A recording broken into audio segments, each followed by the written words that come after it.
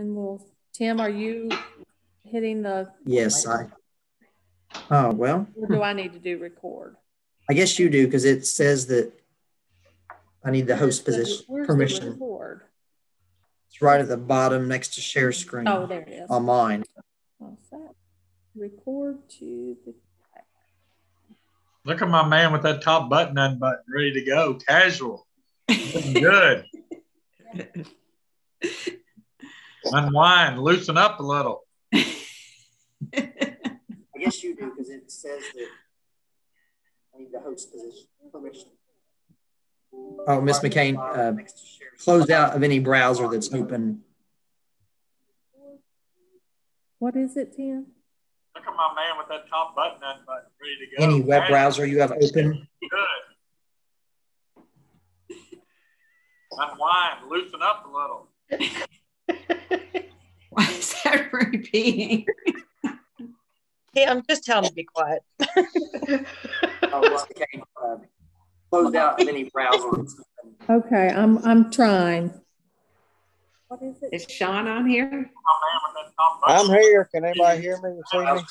We can hear you, but we can't see you. I can't connect on my laptop. I've got my phone out right now. So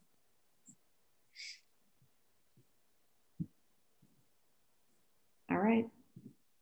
Whenever you're Okay, ready. Tim, am I straightened up now? I'm trying to make sure I've got all those web browsers closed. No echo? any echo. Do we not hear any echo now? No, we're good. Thank God. Are we ready to go? We're ready. All right. We'll Call to order the Augusta Independent, February 11th, 2021, 6 p.m. special board meeting. Uh, we will do roll call. Uh, Chastity, Here. Laura, Here. Jan, Here. John, here, and myself. Um, Ms. Health, could you do the Pledge of Allegiance? Yes, ma'am. I pledge allegiance Allegiance to to the the flag flag of of the United States of America and to and the to the republic for republic which it for stands, which it stands, One one nation, nation, under under God, God, indivisible, with liberty and justice for all. And would you mind doing the mission statement for us? The mission of Augusta Independent School is to ensure all students achieve high levels of learning in a nurturing climate, empowering them to be responsible and productive citizens of a global community. Thank you, Mr. Cook. I need a motion to approve our agenda. Motion made. Laura made the motion. I need a second. Cassidy. Cassidy seconds. All in favor, say aye. Aye. Aye. Uh, all right, principals report, student achievement. Uh, we don't have any student achievement. We'll hopefully, when we get back in person in some time and get our, we're finishing up our second round of iReady, so we'll have some of those hopefully, you know, in March as we move forward. Everything's just kind of been, you you know as well as I do how it's been, uh, especially you parents and the ones that have had to uh, deal with everything. Appreciate the flexibility. Uh, so I just wanted to talk about the state accountability. That's kind of what's on everybody's mind in our uh, in our business. Are we going to have to? What is it going to look like? Uh, I was on the DAC webcast today, and they have applied for waivers for both assessment and accountability. They're pretty certain that our waiver for accountability will be granted, which means we still might do some type of assessment, but it won't be schools won't be accountable. They're just waiting for the national waiver, and I guess with the new uh, new government and new uh, chair educationer, commissioner of education, or federal education changes, those those are kind of on hold right now. But they were pretty confident uh, at the state level in KDE that we wouldn't be accountable. But even with that being said, there have been some changes. Senate Bill 158 has uh, changed some things that we're looking for, uh, mainly the indicators uh, status and change for state indicators and how they're going to be measured. Uh, so basically, for each indicator, and those are student assessment results, progress towards achieving English proficiency by English learners, quality of school climate and safety, high school graduation rates, and post secondary readiness. There's going to be a five by five level ranging from very high to very low. and then five change levels ranging from increase significantly to decrease significantly. Basically, they're going to give everything a color ranking from low to high, red, orange, yellow, green, and blue. And for some reason, they think that'll be more easy to understand than the last two or three methods we use, but it's still going to boil down to, uh, you know, giving the school the ranking on those two things. Uh, everything was approved, but then I guess they got some recommendation from uh, the School Curriculum Assessment and Accountability Council. Asked the KBE to consider raising the weight of state assessment results in science, social studies, and writing to 30% and dropping the weight of post secondary readiness to 10%. So if they do that, because uh, right now they said at 20%, they think science, social studies, and writing will not be as or will not be taught as readily or people focus not focus on it as much. So right now it's English and math are 45%. They're hoping for science, social studies, and writing to be 30%. 5% will be your English learner progress. 4% will be the quality of school climate and safety. They would lower post secondary readiness from 20% to 10%, then 6% for graduation rate. So uh, everything's been approved. Basically, other than that, they're in the 60 day public comment period, which to me places us almost in May, which makes it almost me to believe it's going to be hard to, you know, to hold anything accountable if they don't even have a stable system in place. But that's what they're looking at. Uh, so, uh, like I said, I'll keep you updated. They're supposed to, uh, like I said, they filed for waivers. They're supposed to hear from those soon. Uh, we will, as far as accountability, we will be taking the uh, ACT March 9th for the juniors. That'll be the statewide test. Uh, they really didn't have a good answer. A lot of people were questioning what to do with virtual kids, and their answer was to just pretty much make them come in, which, as we know, parents that aren't comfortable aren't going to send them in. So most people didn't like that answer. So basically, they said do the best you can and get them in there. But uh, there are obviously not going to be any non-participation penalties if parents don't send those in or if kids are full-time virtual. So that's kind of where we stand with accountability. Uh, it's kind of like everything else right now. You you really don't know. Just uh, important to be very flexible as, as teachers, as schools. The students have done awesome. I was on several Zooms today watching them and the teachers. I mean, it, it's just amazing the work the students, how how flexible and how excited they still are to learn, and the teachers, and then what the parents are doing with these kids at home. So I commend all three of those. Uh, you know, hats off to all of them in this trying times. So, any questions from anyone about that? Robin, do, do we have many juniors that um, would that are virtual that maybe wouldn't come in for that test? Uh, I'll be honest with you, Julie, and this probably isn't what the state wants to hear. The ones that we need to come in will come in. The ones that uh, probably wouldn't help the score much, that wouldn't come in, we'll reach out to them, you know, and try. But I, I, I think most will come in. Okay. You might have one or two. I know the, the ones Mr. Bryan and I talked about that were virtual would we felt certain would come in. Mr. Kelton, Mr. Bryan, do as, do as well as anybody I know getting the majority of our kids to come in. Uh, I mean, they have a as good a relationship as you would have with any of these kids. So I'm sure that we'll get the majority in anyway. Absolutely. And if it's transportation, you know, we'll go get them whatever we need to do on that day, whatever's best for them. All right. And by that time, most of the building will have had both vaccines and a lot of the levels, you know, they'll be through a couple more levels. So I think things will loosen up a little. Thank you guys. Appreciate it. Thank you, Mr. Thank you. Uh, superintendent's report. Yes, well, I first just want to thank my administrative staff, uh, Mr. Literal and Mr. Kelch and Tina and Barry and everyone. They've they've really been working behind the scenes this week and keeping everything going, and I appreciate them. And uh, I know we're in good hands, and it's it's good to, under the circumstances, have to be home and know everything is is still running very smoothly and uh, appreciate all their leadership and hard work. Of course, this whole thing's been hard work under, you know, the pandemic, but uh, but we are very very blessed with our leadership at Augusta Independent. And before I forget, I wanted to mention that the KSBA conference that was scheduled for April has been moved to May 14th through the 16th. Um, so again, we're watching. I know board members are planning on attending this year to get your hours, and Tina has been watching it closely. So when it does open up for registration, um, we'll let you all know. Um, as far as the uh, second vaccination for staff, that is uh, tentatively scheduled uh, for Friday, February 26th we were uh, we had talked about some options and decided given that it's likely that individuals get sick from the second dose we thought it would be a good idea to conduct this second vaccination on a friday to give everyone the weekend in case they did become symptomatic. Um, so that is the plan there.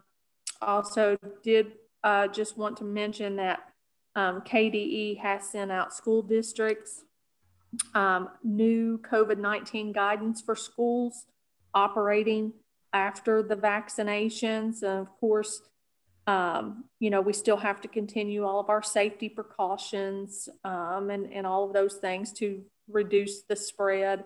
Um, of course, districts, you know, offered it to all employees, but not all, but not everyone, you know, opted to take the vaccine. Um, one of the things is that districts still have to provide a uh, virtual work option for employees that meet high risk complications uh, due to COVID, but that would end after seven days after they've had the second vaccine. Of course, that really didn't apply, you know, to us. We didn't have any circumstances like that.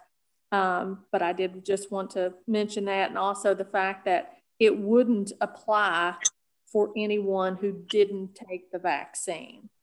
So that wouldn't be an option for an employee who didn't take the vaccine.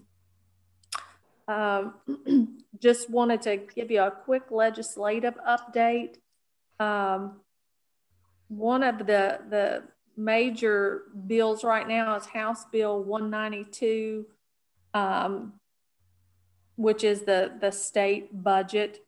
Um, again, the, the big push is, is obviously um, for as much funding as possible, especially with, you know, the circumstances with the pandemic and uh, so much expense and, and burdens that schools have, have been under. Um, House Bill 149 is the opposition of um, of a uh, tax credits or the privatization of public school funds. Uh, so there obviously is a big push, you know, against any kind of school voucher or anything like that. Um, and then we have a House Bill 258, which is actually a new tier of benefits for um, for teacher retirement system hires that would start on January 1st of 2022, which would be basically a uh, high plan of a supplemental uh, plan similar to a defined benefit like we have now with uh, a 401k like uh, system. Of course, that wouldn't change anything for existing or active or retired um, TRS member. So that that is a good thing. That is uh, something that was, you know, the big problem a couple years ago is they were trying to change it for current members and retirees, and so that's much better. Um, also wanted to mention that the latest, of course, you all learned last month that we received our uh, coronavirus relief funds, um, which was 388,000. Um, I know Tim listened to the, a webcast this week um, to talk about, you know, some guidance on how that funding can be used. Of course, that can go back to when the pandemic started um, on March 13th of 2020, and then we can obligate funds all the way to September um, 30th of 2023. So um, Tim's already been working on on some things to um, obligate for those funds. Um, also wanted to mention open enrollment bill. This is uh, House Bill 170, um, something we've talked about for quite for several years. Um, basically, an open enrollment where uh, students could attend, you know, the the district of their their choice, um, because of the fact that people are really against the tax credits. this is really getting some traction. Um, it's my understanding that uh, there's a lot of support this session for House Bill 170. Um, so that would be a, a, game changer, as we know, for Augusta Independent. So as I get more information on this, this was just filed last week.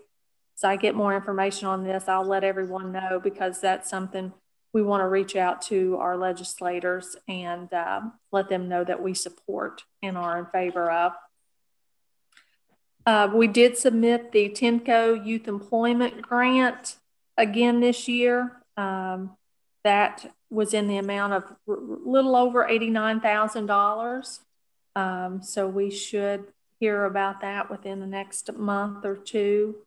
And then one other thing I wanted to mention was the school calendar. There will be an amendment to the school calendar um, because they changed the state tournament this year. Excuse me. Uh, we were supposed to be off on March 5th. That was state tournament day. So we're going to be in session now, March 5th, and then we will take off on April 2nd, which worked out probably better anyway because it was Good Friday, and then it it is uh, then the following week is when our spring break is. So we will have school March fifth. We will be off Friday, um, April second for Good Friday, and that's all I have. Unless you all have any questions. Ms. McCane, can I jump in real quick? Yes. I wanted to, I talked with Miss McCane today, Julie, and I wanted to uh, just mention trying to get the boards filled, make sure it's all right. You know, with COVID and now with ice this week and possibly next week, uh, the boys and girls have the possibility of missing quite a few basketball games. And I know people have started reaching out to them about possibly, if it comes to that, playing a couple Sunday afternoon games, uh, which we've never done a lot on Sunday and I'm not a big fan of. But considering the situation and, you know, uh, missing quite a few games because of teams being quarantined or, or two or three games this week, possibly another one tomorrow night, depending. I just wanted to uh, get the board's fill on that because that, that is something several teams have reached out to us about doing if we possibly get to the point where we feel we need to make up some of those games that we've missed for COVID or the bad weather. Just wanted to make sure, sure that would be all right with the board. I think that would be fine. Yeah. Mm-hmm what happens with uh, like the custodial leave, things like that on a Sunday? Uh, most of that would, I mean, would they would either, most of the time, they usually just come in and do it. Rick's there. The gym would be cleaned up. Uh, or we'd give them a couple hours, come in a little later through the week. I mean, it, with only 100 people there anymore, there's not a lot of cleanup much anymore. I don't think it would be a big deal yeah, we would just adjust their hours. If if if they didn't want to come in and do it, they could just wait until Monday morning, you know, to do it when they come in, or they could opt to come in and do it if they were already going to be there, and then he can just let them, you know, leave early. Anybody have any questions or comments about that, Dion no. or Cassie? No. Sean? No, I think it's a good idea. Yeah if they can't be in school, at least they have sports. So. Okay. Do we have to put that to a vote or is that? No, I, I really just wanted him to in, inform the board um, because it isn't something that we typically would ever approve or have, you know, the school do on a Sunday. But Okay. You know, given the circumstances, we're kind of Right. running out of time and options. Okay, all right. Well, yeah, we can, we can definitely do that, Mr. Couch. Thank you all. Appreciate it. All right. Anything else from Ms. McCane?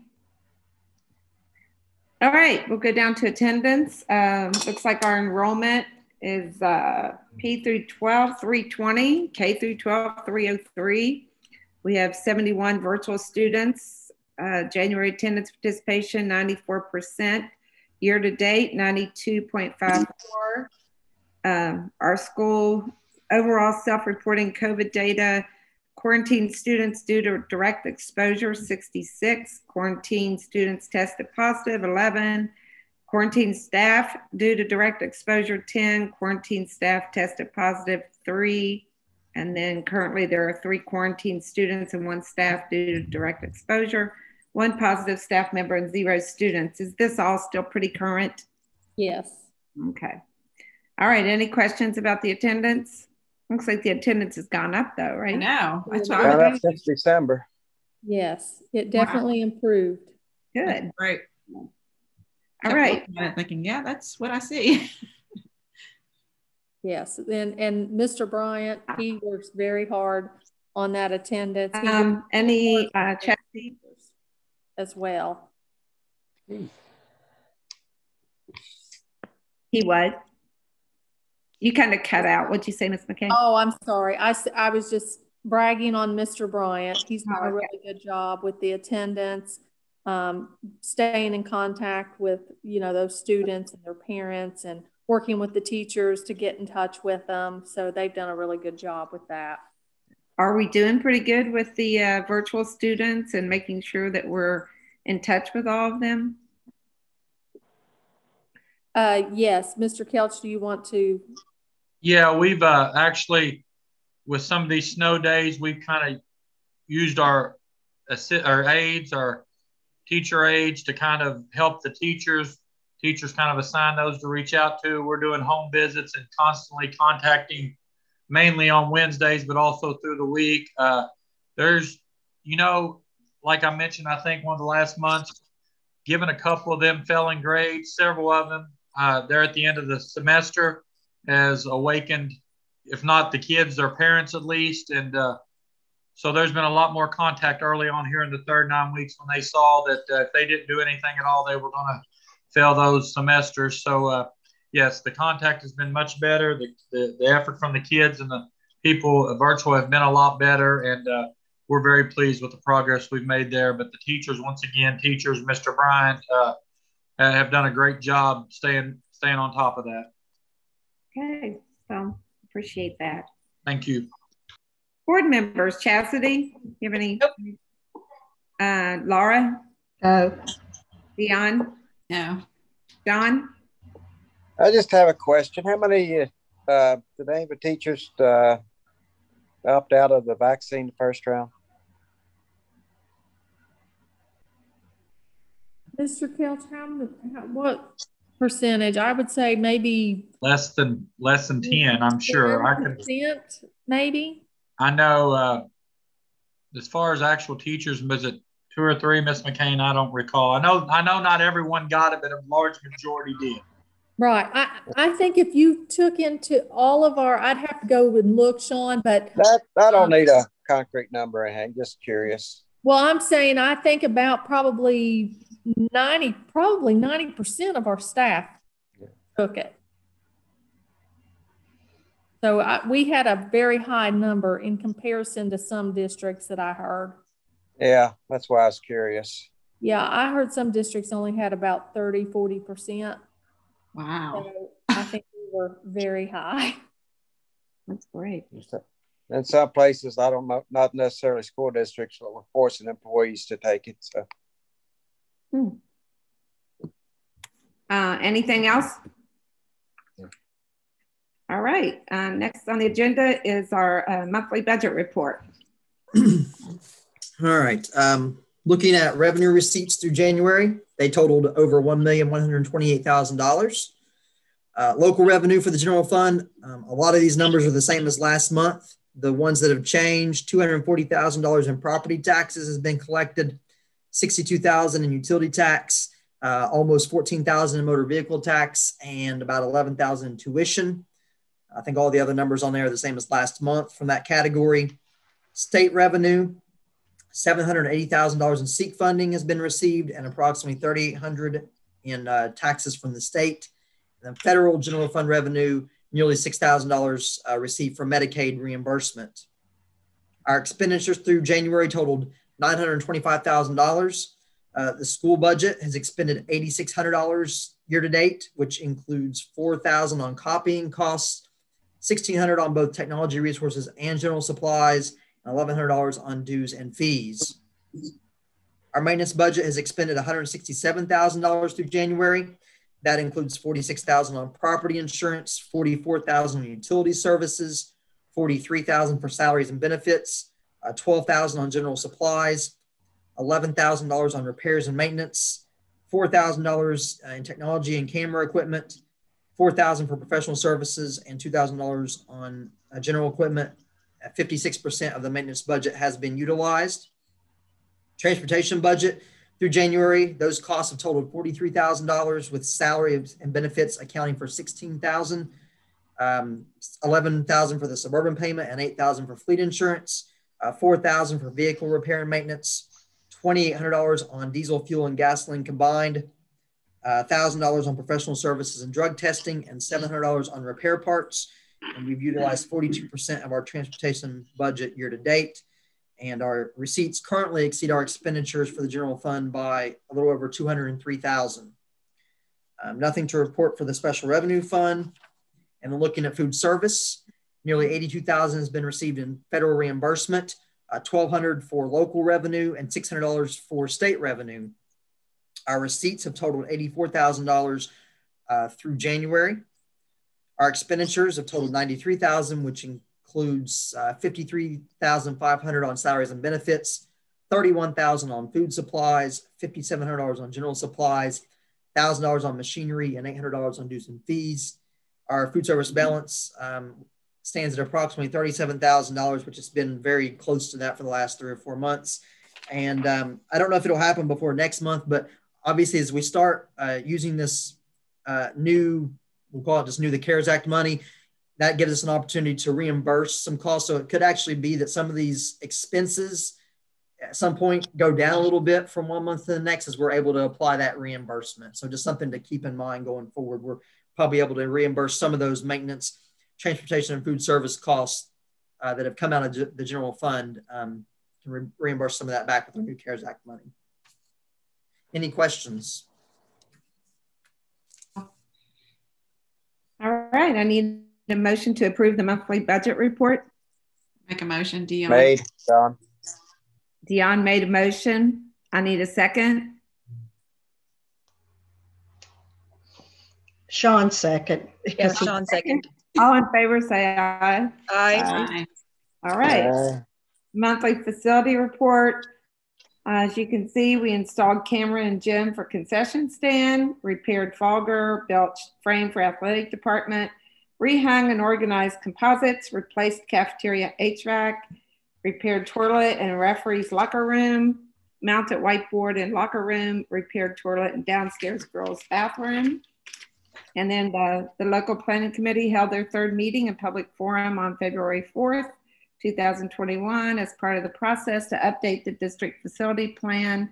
And then we did have an attached uh, draft DFP presented. Um, any other comments to make about that?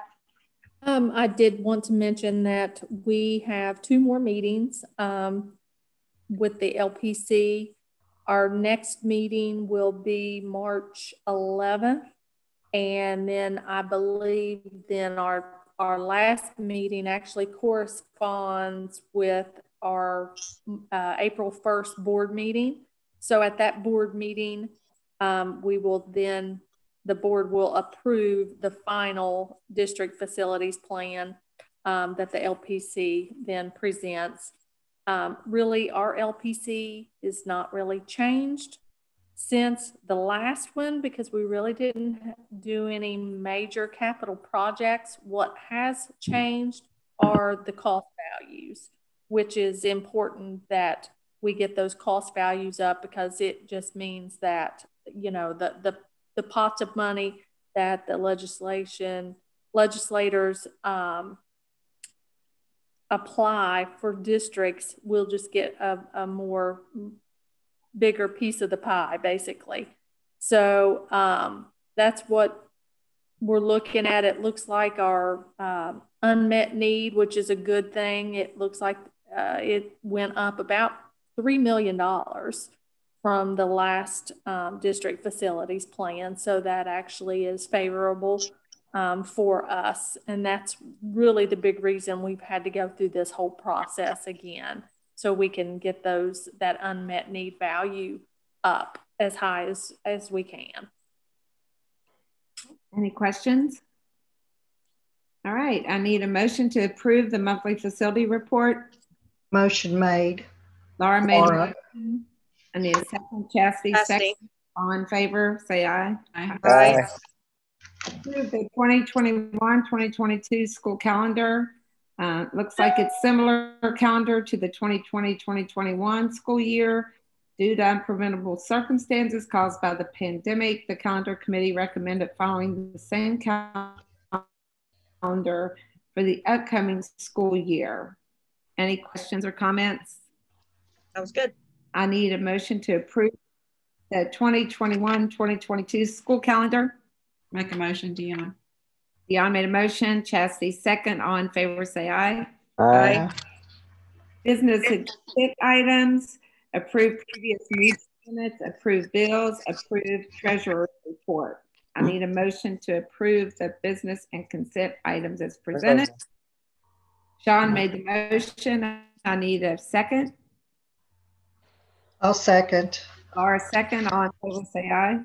Aye. Aye. And um, I need a motion to adjourn.